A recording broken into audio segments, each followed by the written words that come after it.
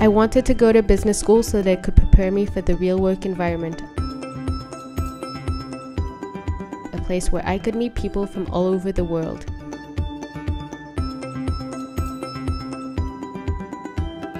A school that guaranteed me an internship.